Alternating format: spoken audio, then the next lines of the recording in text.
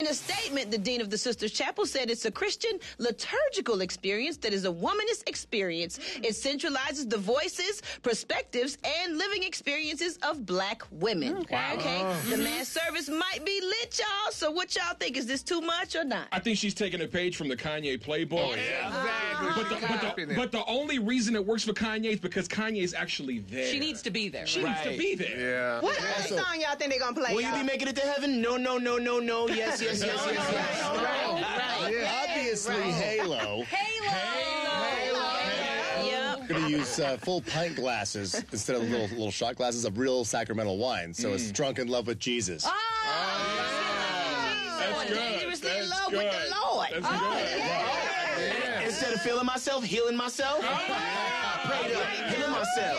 Prayed up, healing myself.